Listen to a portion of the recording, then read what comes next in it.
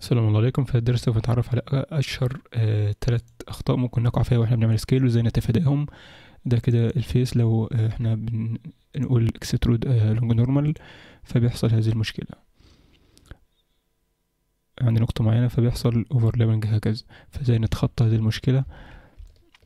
آه، أولا extrude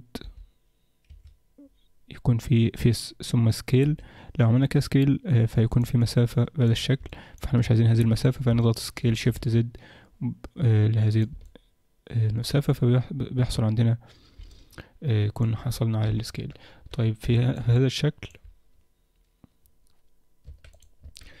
لو بنعمل inset فيحصل برضو overlapping هكذا.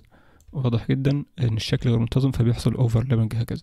فازاي نتخطى هذه المشكلة يكون في inset بسيط جدا وليكن هكذا ثم scale إلى هذه الدرجة. دي كده تاني مشكلة ممكن نحصل أو تحصل آه وإحنا بنعمل scale طيب آه في هذا أيضا في هذه النقطة لو إحنا عملنا scale آه scale فال scale بيكون non-uniform بهذا الشكل.